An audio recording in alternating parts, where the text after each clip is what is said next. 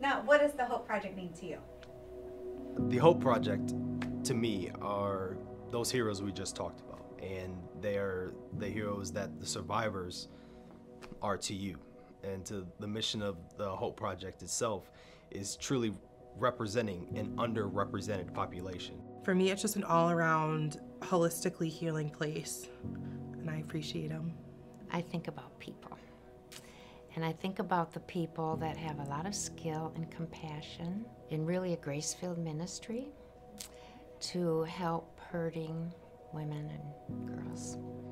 Seeing somebody willing to stand in the gap and walk alongside God's most precious saints.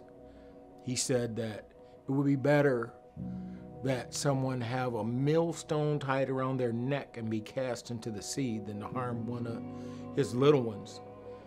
And the Hope Project puts hands and feet to that.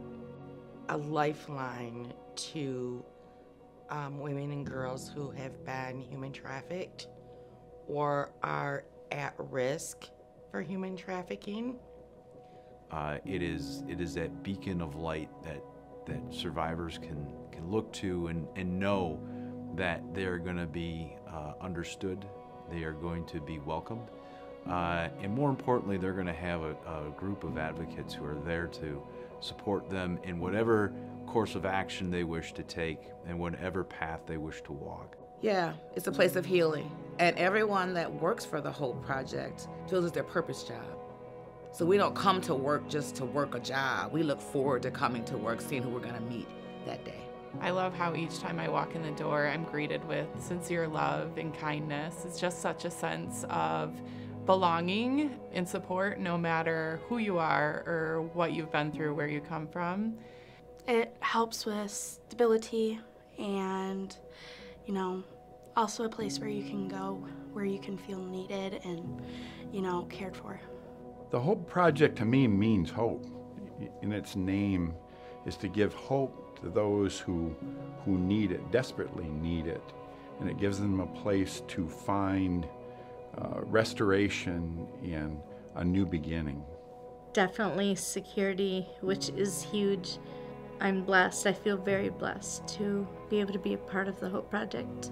I say with the food, with the clothing, with the shelter, with just being there, um, watching the staff run around, um, literally sometimes, because they've heard someone has a need. It's like everybody goes to action.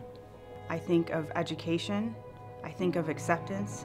I think of a soft place to land. I think of compassion. I think of empathy. And I think of new beginnings and empowerment. I feel like when I walk in the doors, this is where I belong. And uh, I think that that is a feeling that a lot of people get when they walk in the door is that, okay, this is this is a home for me. I can I can come in here and feel safe, feel heard, um, feel supported. Yeah, what what we all want home to feel like. It's a like way to find people like other people who had gone through like trauma or something like I did.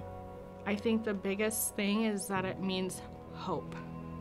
Hope for the community, hope for our current clients, hope for the future, that maybe one day we will be out of jobs because trafficking will be done. The Hope Project to me represents the people, the people who give of themselves and their gifts for the glory of God to any woman that comes through the door or is brought to them or has to be rescued from sex trafficking so that they might have a future and a hope so they can be free. The work's important for the uh, those young individuals and I mean young individuals of age and giving them the uh, the tools that they need to succeed. It's just one of those factors that we really need here um, that we re really can't do without. I love the Hope Project. I think we're all, we all learn and grow by being a part of it. We don't claim to do it perfectly, but we're always willing. And I think that's, that's unique and um, that's why I keep working with the Hope Project.